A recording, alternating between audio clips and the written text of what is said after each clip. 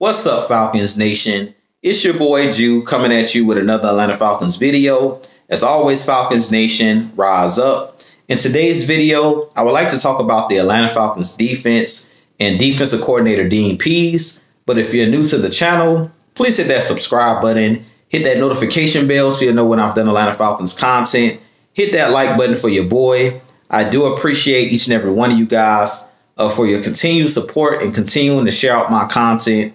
Um, if you would like to follow your boy on Twitter and Instagram, you can follow me at Ju Talk Sports. If you would like to donate to my channel, you can donate to my Cash App, uh, which is the dollar sign Ju Talk Sports. And if you would like to be a part of my Ju Talk Sports membership, uh, you can hit that join tab here on the channel. But with that being said, let's jump right into the quick video. So as I mentioned uh, in today's video, I do want to talk about the Atlanta Falcons defense and defensive coordinator Dean Pees. I actually read a short article uh, from Pro Football Focus today, and they basically uh, talked to Dean Pees, and he basically stated uh, in the article that the Atlanta Falcons defense only ran 60% of his defensive playbook or his defensive scheme.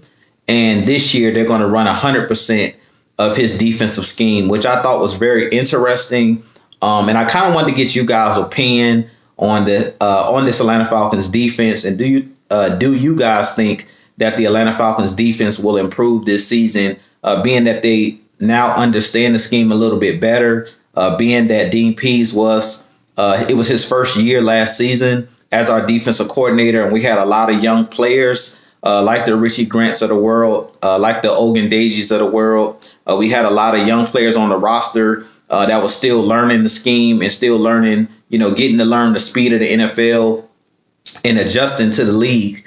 Um, especially due to COVID and a lot of the protocols and things of that nature um, that we had last year and the players had to deal with. Kind of wanted to get you guys uh, thoughts on um, the Falcons being able to run um, 100% of Dean Pees' scheme because I know Dean Pees is one of those guys that likes to blitz and likes to have pressure packages. And last season, uh, due to injury to Isaiah Oliver and due to injuries and due to um, our young players still learning the scheme, Dean Pees was trying not to put too much on those guys' plate as far as allowing those guys to play fast.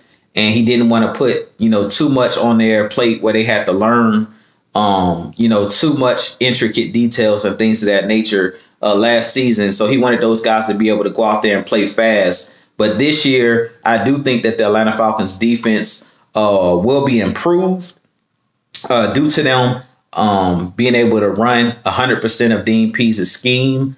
Um, but I want to get you guys' thoughts on do you think that the Atlanta Falcons defense will improve this season? I definitely think that they'll be improved this season, much improved uh, due to us, um, due to these guys being under that, uh, being under Dean Pees' scheme for a full season and now have, uh, having the full offseason to study the playbook to study film and things of that nature of things that they may have done wrong during games last season.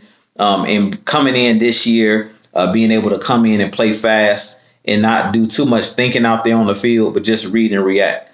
Uh, but with that being said, you guys let me know what you think of the video. Uh, let me know if you think the Atlanta Falcons defense will be much improved this season. I definitely think that the defense will be improved just for the mere fact of familiarity. Um, it was a reason that they brought in guys like Rashaan Evans, and we have a lot of veteran guys now on this team, like uh, Deion Jones, who's still on the team, and Grady Jarrett, uh, guys who's played in this scheme, uh, AJ Terrell. We pretty much have leaders on every level of the defense, and now they're able to mentor these younger players and get these guys ready to play um, as well. But with that being said, this been your boy Ju. I have a lot more content coming for you guys, but as always, Falcons Nation, rise up. Peace.